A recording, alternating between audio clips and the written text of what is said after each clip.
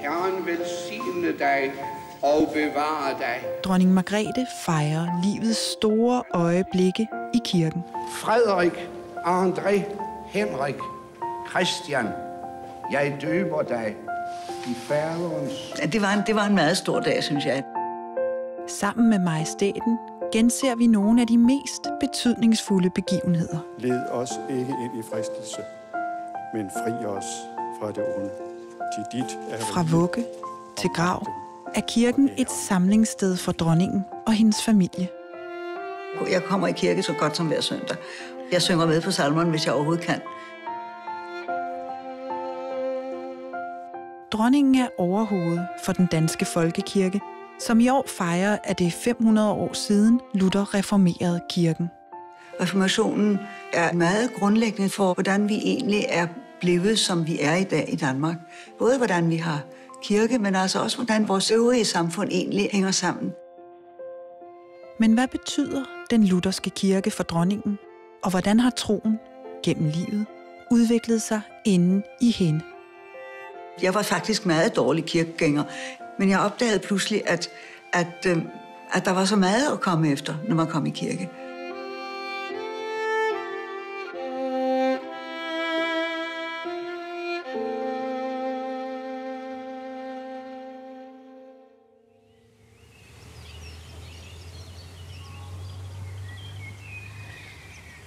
Som Danmarks dronning er de faktisk den eneste her i landet, som ikke har den religionsfrihed, som Luther gik ind for. De skal tilhøre den evangelisk-lutherske kirke, for de er dens overhoved. Har denne bundethed øh, betydet noget for deres forhold til troen? Jamen, det er, det er da vidunderligt, at man ikke skal fare rundt og shoppe øh, og finde noget, der, der passer en bedre end noget andet. Man, man, man har et sted, man skal være, og så arbejder man ud fra det. Øh, det, det, synes jeg er, det synes jeg er vældig godt, det, og det svarer vældig godt til min, min stilling i øvrigt. Jeg har et værv, jeg har et job, øh, som jeg skal passe, og, og så er den ikke længere. Og så gør man sit bedste inden for det. Og det, det, det synes jeg, det, det er øh, en stor befrielse, at man ikke skal gå rundt, som sagt, øh, og, og, og overveje, om, om handsken nu passer helt, eller, øh, eller hvordan. Strålende af gensynsglæde går kongen i land. Far har været savnet, kan man se.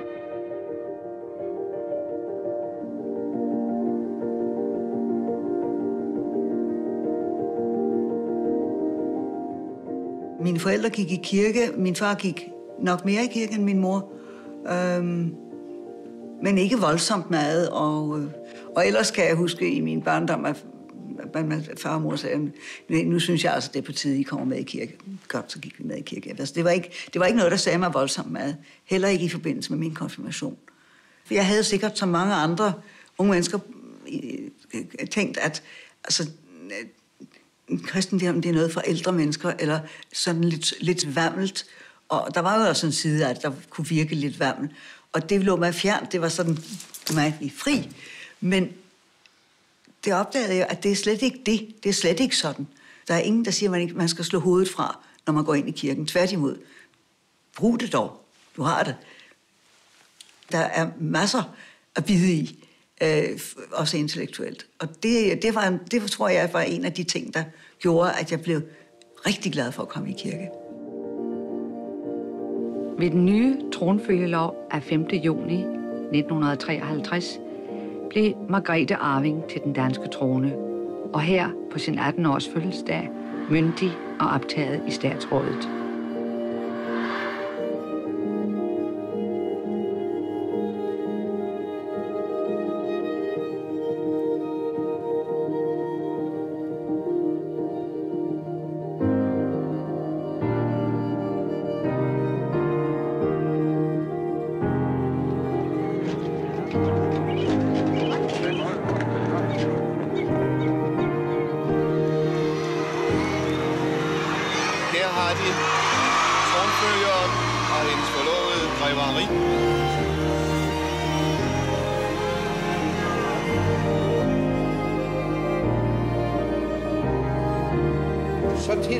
Dig, Henri, Marie, Jean, André de la Borde de Montpessat.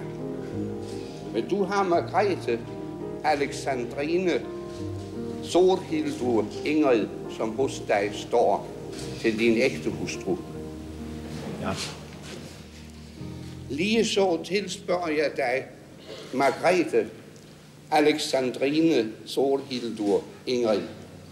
Vil du have Henri Marie Jean-André de la Borde de Montpessat, som hos dig står til din ægte mand?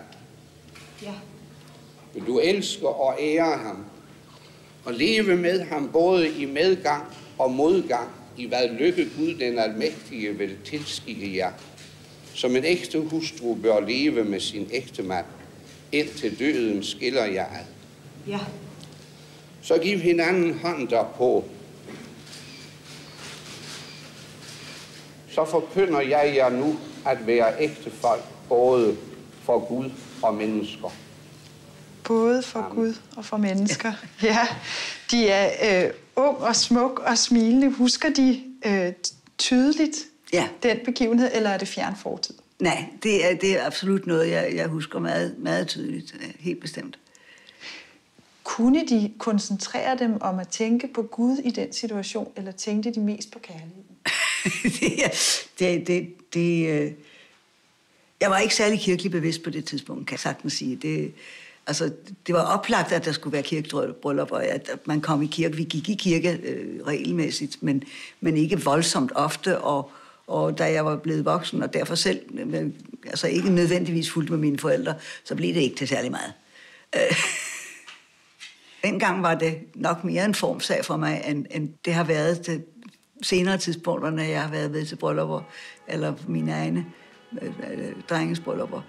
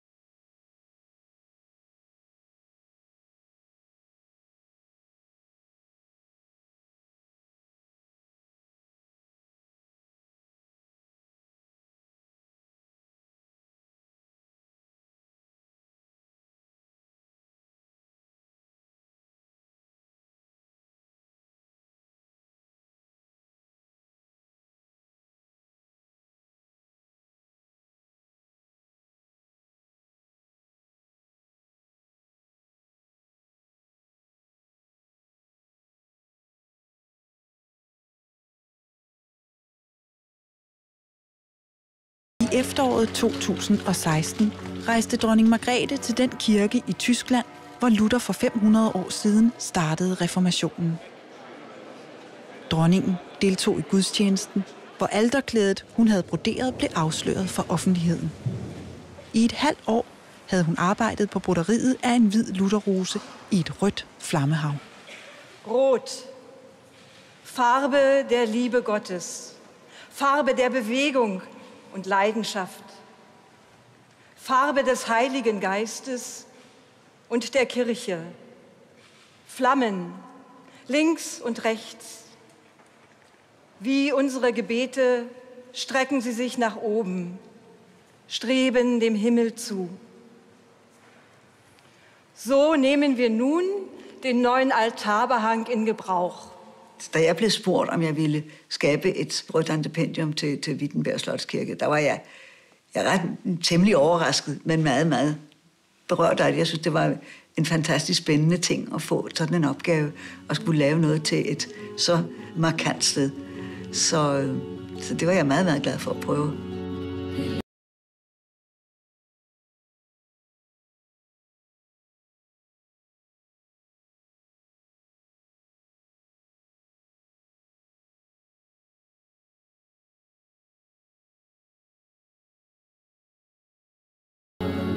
Og så skulle det være den røde, som er den, man bruger i pinsen, som, og som de også vil bruge særlige festlige lejligheder, tror jeg.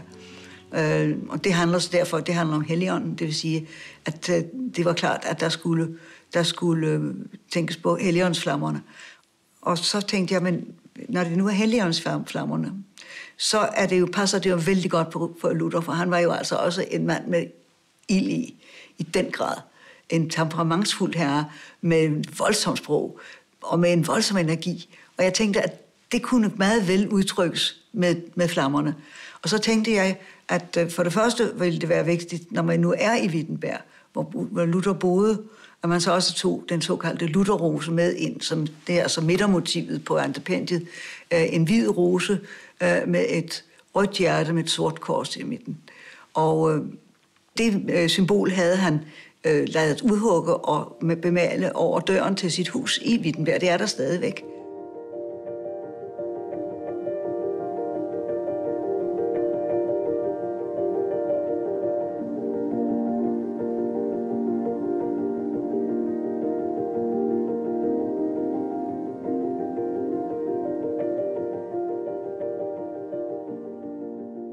Reformationen kom til Danmark i den lutherske version, og den har vi tilegnet os på en sådan måde, at jeg tror, at øh, det er meget, meget vanskeligt at tænke den ud af, af dansk kultur, faktisk.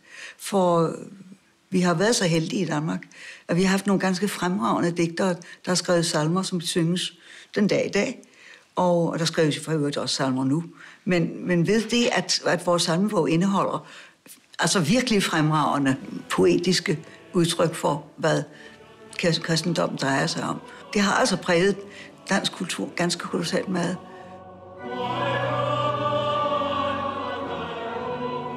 Og de har været altså ryggraden for mange mennesker, øh, som egentlig bedst husker deres salmer fra, fordi de, det var noget af det første, de lærte at synge. Måske ikke så almindeligt i dag, men endnu da jeg var barn, var jeg så sammen i morgensang på skolerne der kom disse salmer med også. Har majestæten nogle yndlingssalmer? Ja, det er meget svært at sætte, øh, at sætte præcise øh, navne på dem, fordi der er faktisk vældig mange, jeg holder meget af. Der er nogle af dem, der er, er fantastisk flot poesi.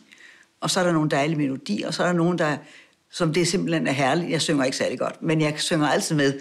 Og jeg synes, det er herligt at synge med.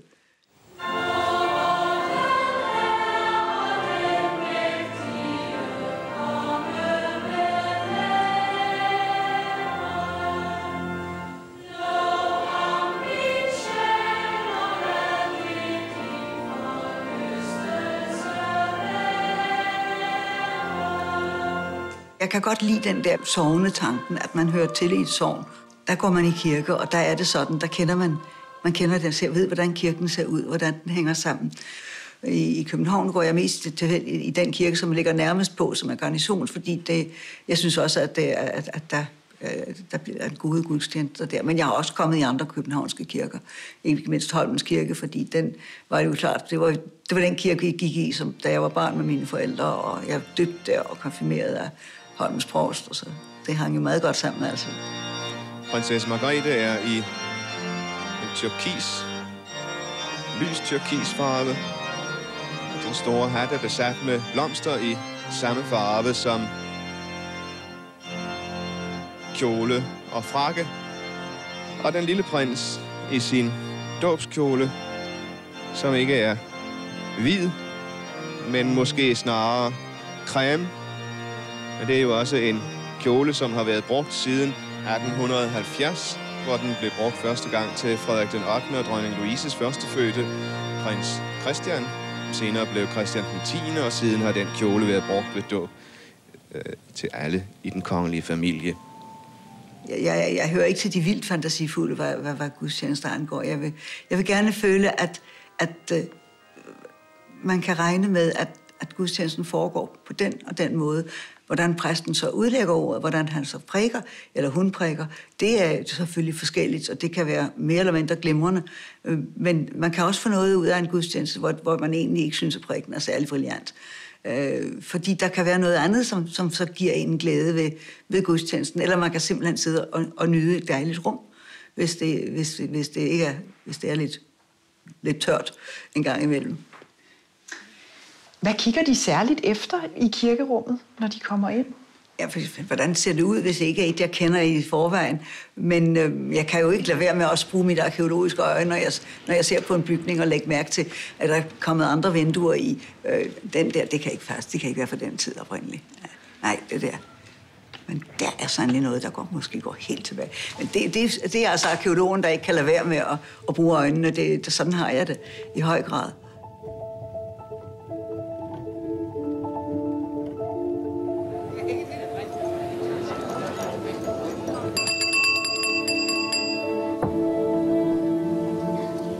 Ja, min egen ven.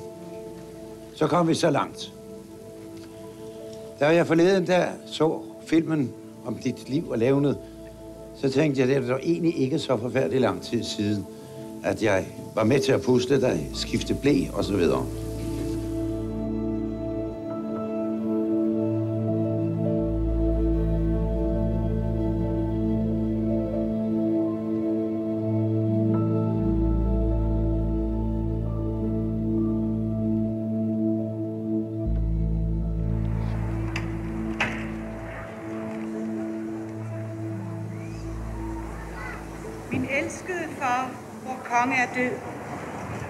Stor sorg har ramt os alle.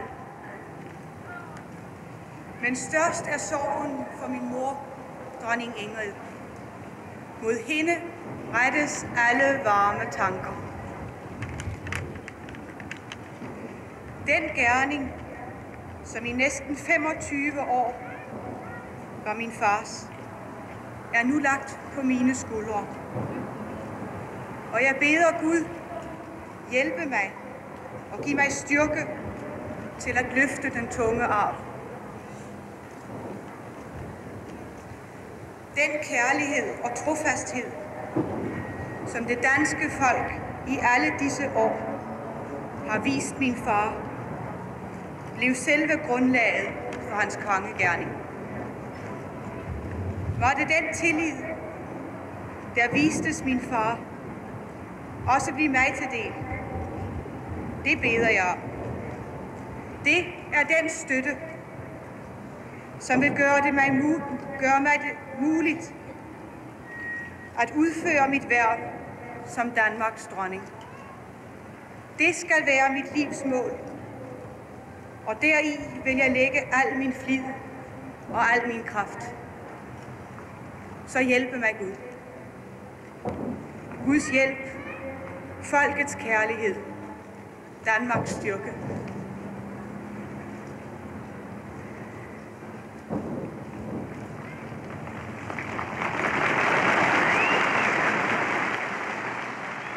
Det er meget stærkt.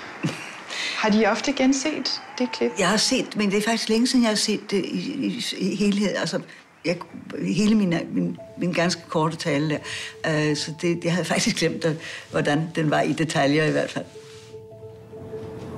Her har vi billedet af dronning Margrethe den anden og prins Henrik, der kører i den åbne karet igennem en mur af mennesker.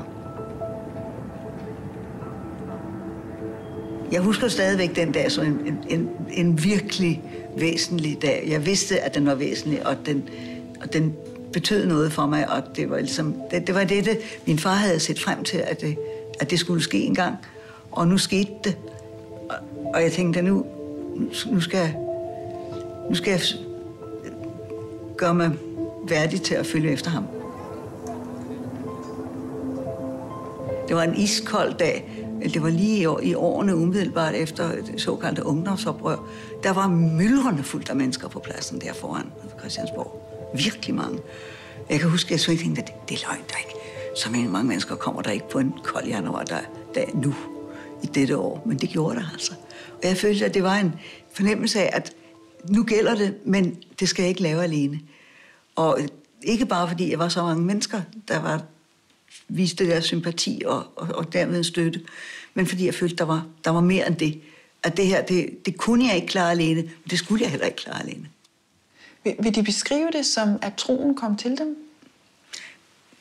Jeg ved ikke. Det er, sådan, det, det er, så, det, det, det er så, så, så fin en måde at sige det på.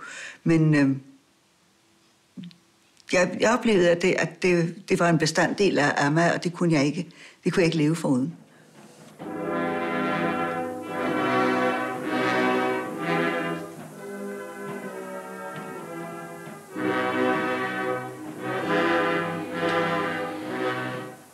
Jamen, jeg husker blandt andet, øh, da vi gik her bag øh, kisten, som jeg blev trukket i den, ved den lejlighed øh, af værnepligtige fra Søværnet. Og igennem Roskilde, hvor vi gik på, der var lagt græn ud også dengang. Det var meget, en meget stærk oplevelse øh, helt af holden, synes jeg.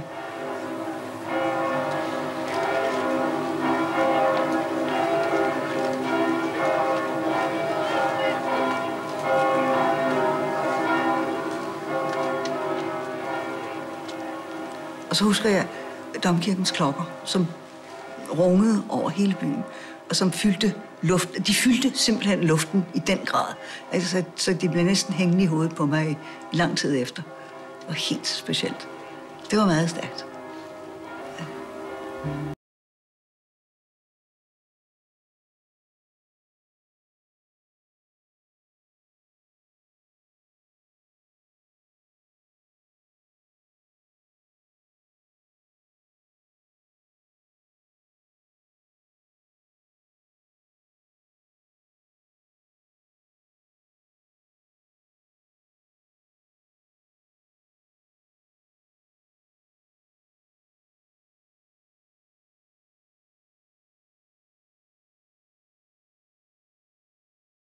Et øh, berømt interview med forfatteren Torkel Hansen tilbage fra 79. Der fortæller de om, hvordan deres fars død var en slags, betød en slags opvågning for dem.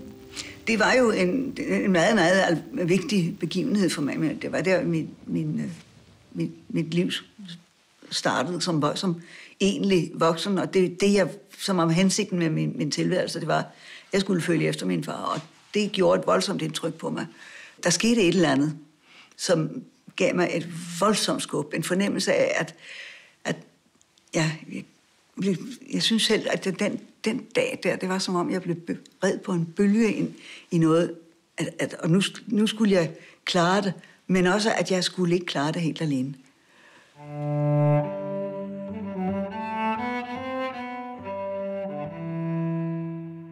På et tidspunkt, øh, da jeg var der i begyndelsen af 30'erne, øh, så fik jeg mulighed for at træffe nogle, nogle øh, teologer.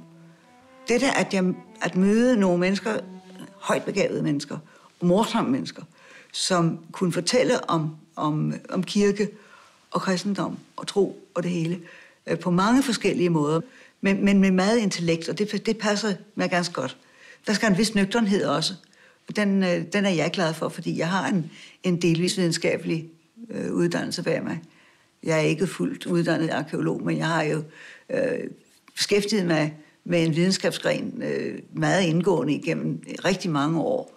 Jeg kan ikke lade være med, og, og hvordan hænger det sammen? Hvad, hvad ligger der bagved? Hvad ligger der under? Øh, og det samme, jeg mener, det kan man altså også gøre med teologien, med, med det, der foregår i kirken, med det, der man læser i Bibelen. Jeg tror bestemt, at, at, at, øh, at det er en af de ting, som er betydningsfuld i, i den, i den lutherske form for reformation, at man skal endelig bruge hovedet, hvis man har det, og, og så godt man nu kan. For det er ikke et spørgsmål om at slå hovedet fra. Det lyder jo som en intellektuel nydelse for majestæten, at, at beskæftige sig med tro og kirke. Det er det også, men man skal selvfølgelig også bruge følelserne. Det er ikke et enten eller på nogen måde. Det er både hjerte og hoved, der skal bruges, ikke?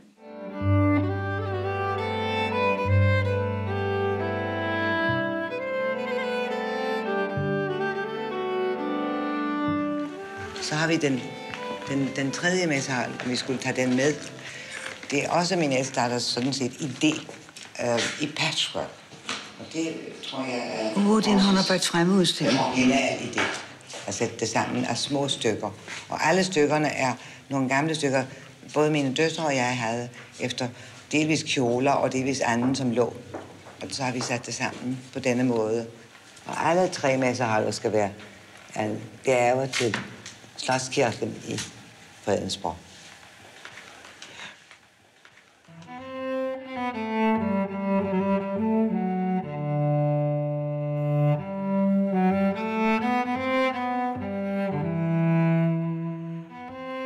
Når jeg blev så interesseret i at, at, at tekstiler i kirken, så skete det egentlig øh, sammen med min mor, som, havde jo, som jo selv havde, havde arbejdet med, med kirkelige tekstiler ganske lidt i sin, helt i sin ungdom, og det var hende, der havde øh, forarbejdet antipendiet, altså det er klæde, der hænger foran på alderet nede i, øh, i Gråsten Slotskirke. Og øh, vi havde en fin gammel messehal i Fredensborg Slotskirke, men den var jo så, fordi den var meget fin og gammel, var den noget øh, ømtålig, og det var synd, at den skulle slides hele tiden. Og på det her tidspunkt, det her så omkring der i begyndelsen af 70'erne, øh, blev jeg jo også opmærksom på, at man kan have mere end en enkelt messehal i en kirke. Der er faktisk fire årstider, øh, som, som, man, øh, som har traditionelt har forskellige farver. Og så øh, fandt jeg ud af, at jeg kunne tænke mig at lave noget til kirken i grønt i, i Fredensborg Slotskirke. Og det, der startede det så. Og så har det bredt sig.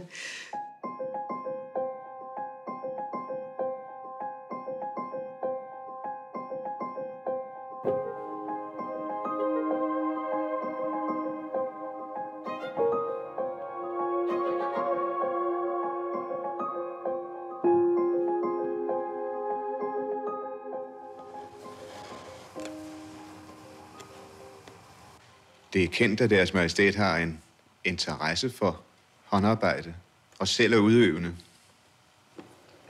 Jo, jeg synes, at det er, er meget morsomt. Og det her er øh, guldbrøderi til en messehavl, øh, som for længst burde være færdig, men nu bliver den der til øh, Slotskirken i Fredensborg. Og øh, det er noget, som er meget interessant og fascinerende at, at sy med guldtråd. Mange mennesker tror, det er så svært, men jeg synes nu ikke, at det er så svært. Morsomt er det. Absolut. Da jeg begyndte med at lave disse messehaler, var det, man var altid lidt bange for at bruge kraftige farver. Altså, det skulle være sådan lidt anonymt i det. Og det er altså bare ikke min stil. Simpelthen ikke. Jeg synes, der, og også en, en gudstjeneste er også en festlig ting. Det må, skal gerne være festligt. Og nu er der så mange, der, der måske nogen, der mener, at, at netop reformationen tog, tog festen og farverne ud af kirken. Det gjorde den altså ikke for helt for Luthers vedkommende. Han anså sig sandelig gudstjenesten for at være en fest. Det skulle være, skulle være festligt. Det var jo også derfor, at han selv skrev salmer. Han var meget musikalsk og sørgede for, at der blev sunget til gudstjenesterne.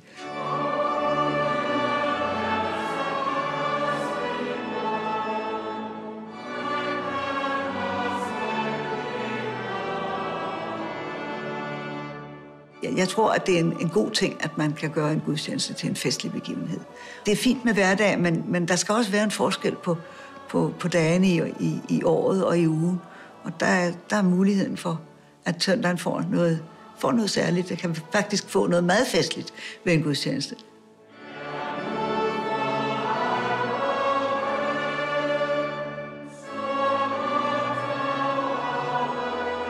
Jeg synes selv, at det har været fantastisk morsomt at blive bedt om at lave noget til noget særligt. Et kirkeligt tekstil for eksempel, det skal jo på det første skal det se godt ud i den kirke, hvor det er bestemt, det skal bruges. Så skal det også udtrykke noget, øh, som kan være alment inden for, hvad det nu er for en kirke, det er, og en, øh, det, som folk måske kan relatere til. Øh, det skal også være en måde at sige, at der skal være fest over en gudstjeneste. Og det kan man hjælpe til med, hvis man laver nogle festlige tekstiler blandt andet til en kirke. Det, det, det synes jeg er væsentligt.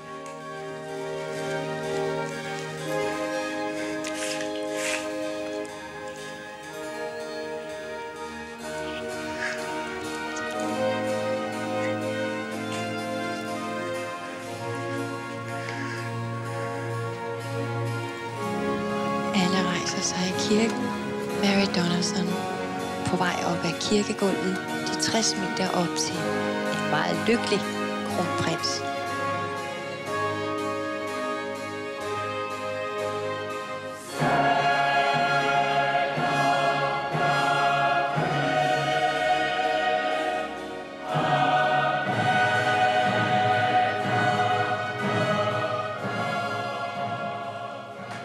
Det er et utrolig rørende klip, synes jeg.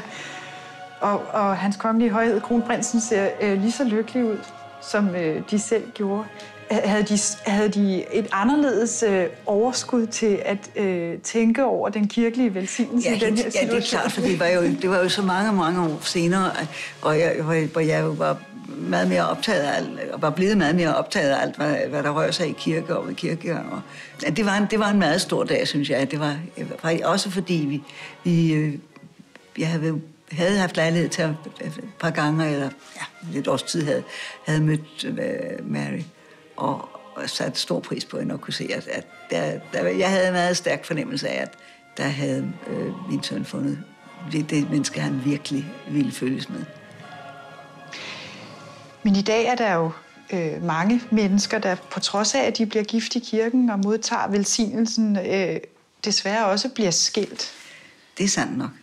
Det er jo ikke en cementblanding, som, så folk ikke kan komme fra hinanden, mener jeg. Men kan man bruge velsignelsen, velsignelsen til noget i ægteskabet, altså i, i øh, arbejdet med ægteskabet? Det, man bruger og bruger, det er jo ikke, altså, det er jo ikke som, at man putter et, et, et, en knivspids spids peber i, i retten, vel? men men øh, den, det udgangspunkt, man har der, det, det, det er en god ting. Det er et udgangspunkt.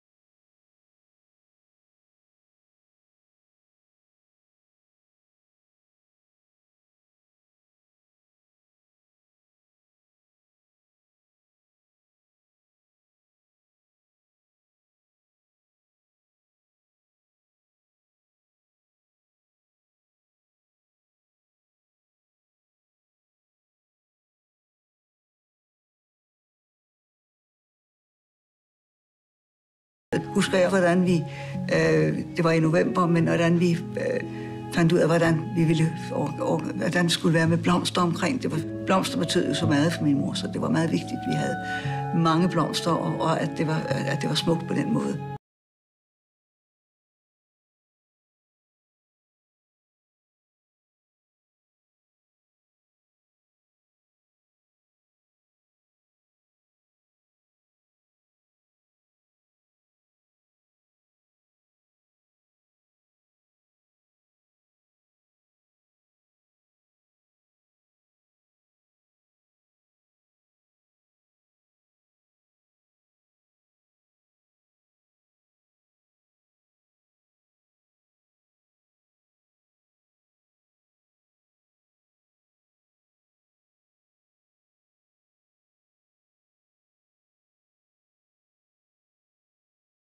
Troen kan hjælpe i sorgen. Hvordan har den så gjort det for dem? Jamen, øh, man siger det, jamen, vi har mistet en far eller en mor, eller hvad, hvordan det nu er, man har mistet. Og, og det, er vi, det er vi jo kede af, men vedkommende er jo i sikkerhed. De har fuldført, både min far og min mor har fuldført et langt liv, som har været et godt liv for dem begge to. Og, og de har udfyldt den rolle, de, de, de havde i tilværelsen, og som de vidste, de havde. Og der er kun at være taknemmelig. Der er ikke andet end der. Men selvfølgelig er man jo, man er jo ked af det, fordi man ikke skal være sammen med dem mere, og man ikke har flere oplevelser sammen. Øh, men de er i gode hænder, hvis man, hvis man er, så, er så heldig at, at, at have sin tro. Guds hjælp, folkets kærlighed, Danmarks styrke.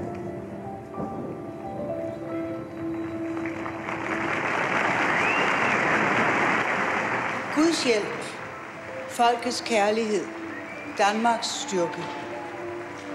I dag for 40 år siden udtalte jeg de ord for første gang på balkongen her på Christiansborg. Deri lagde jeg mit håb, mine ønsker og min kærlighed til mit land. Med mit valgsprog vil jeg udtrykke den forpligtelse, jeg følte over for den gerning, jeg nu gik ind til.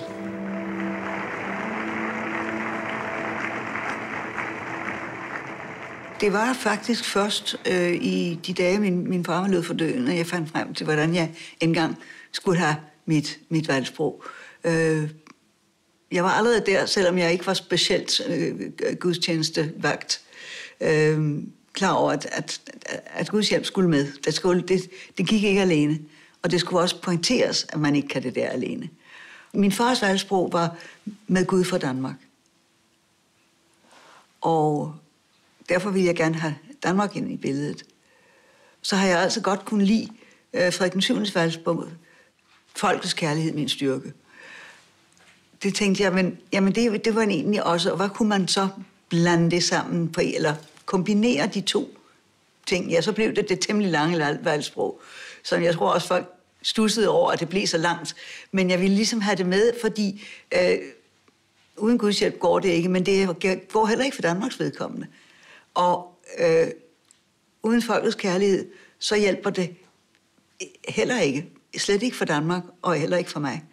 Men det gælder også om, men Danmarks styrke, det er også noget med, at vi, vi skal være sammen om vores land. Men vi kan det ikke alene. Og vi skal heller ikke være alene om det. Og det forsøger jeg at sige i mit valgsprog. Mm.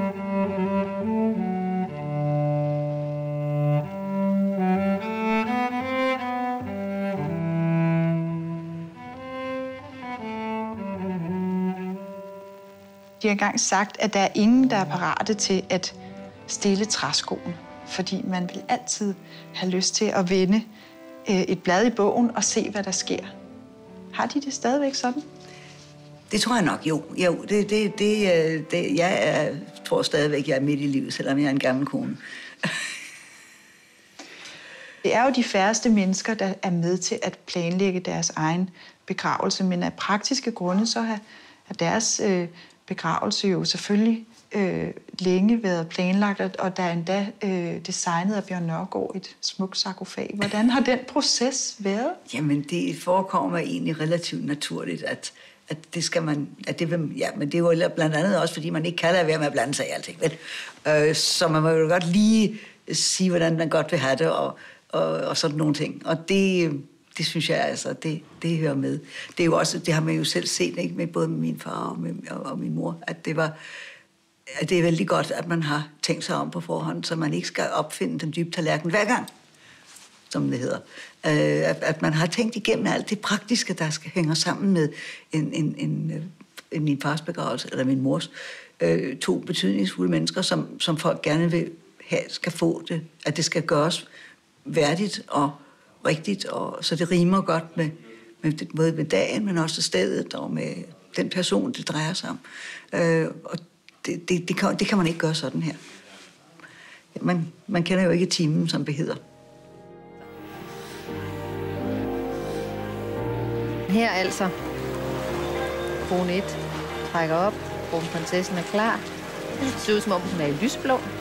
Det er den stolte far. Kronprinsessen. Uh, og den lille prins i den smukke, smukke dåbskjole. Dåbskjole fra 1870. I brysselokskniblinger. Uha. Modtag det hellige korsets tegn, både for dit ansigt og for dit bryst. Til et vidnesbyrd om, at du skal tilhøre den korsfæstede Herre, Jesus Kristus. Hvad er barnets navn? Christian Valdemar Henri John. Christian Valdemar Henri John. Jeg døber dig i faderens og søndens og helligåndens navn. Amen. Ja, det er fint. Ja, han klarer det fint. Det kunne han virkelig. Ja. Hvordan, hvordan, øh, hvordan var det at, at se sit barnebarn blive døbt? Jamen, det var, det, var en dejlig, det var en dejlig begivenhed. Det var jeg virkelig, virkelig glad for, det synes jeg. Og, og der stod de der med deres lille dreng, deres første. Det var jo det var, det var fantastisk. Altså, dåben er jo en, en øh, meget alvorlig begivenhed også, at man siger ja til utrolig mange ting, og den var helt central i Luthers lære. Hvilke tanker mener de, at man bør gøre sig, inden man lader sine børn døbe? Ja, nu har jeg jo egentlig aldrig øh, på noget tidspunkt overvejet, at så skyldig skal de da døbes, øh, når man selv er, er, er døbt og er, øh, er en del af, af kirken. Så, så, så bliver børnene skal der døbes, og det, jeg, synes, det, jeg synes, det faktisk er, er utrolig vigtigt, at man, at man får sine børn døbt, når de er bittesmå. De kan hverken sige fra eller til, men vi kan jo ikke sige fra eller til til livet heller. Vi bliver jo også befødt uden at blive spurgt. Og vi har jo brug for, at, at der er nogen, der har hånd om os, udover det, som far og mor og den nærmeste familie eller vennerne kan. Og det det, man gør med dåben, synes jeg. Barnet bliver en del af, er noget, der er meget større, og som kan vare hele vejen. Og så er det der jo en bedårende begivenhed hver gang med en, en dåb. Det er meget charmerende, det er meget gribende, men jeg synes, det er så væsentligt, og, og øh, øh der har heldigvis aldrig været nogen tvivl om, blandt os, at, at selvfølgelig skulle børnene, der, bør barnet der døbes.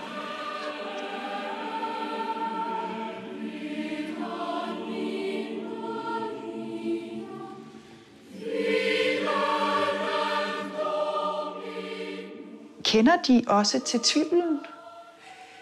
Men selvfølgelig gør man da det. Øh, det, hører der, det hører der med. Man er da ikke øh, lige overbevist om alting hver eneste sekund i døgnet og hver eneste dag om, om året. Og, men, øh, det, men det er der efterhånden. Altså, det kommer til at ligge alligevel under alt det, hvor man siger, jamen, øh, hvad er det for noget, og, og hvordan hænger det dog egentlig sammen? Men, men det ligger alligevel under. Ikke tvivlen, men, men at, at man ikke skal gøre, man ikke kan være alene om det. Og at tvivlen er fuldkommen legitim. Måtte lykke og Guds velsignelse bo i alle danske hjem. Gud bevarer Danmark. Gud bevarer Danmark. Når de afslutter en, en nytårstale, så siger de, Gud bevarer, bevarer Danmark. Danmark. Ja, det har min far altid gjort, og jeg mener at også, at Christian 10. gjorde det. Det er en hilsen på en, på en særlig begivenhed, synes jeg, hvor man kan sige, at vi går ind i det nye år, og ja, så er det godt, at, at, øh, at man ikke skal gøre det alene.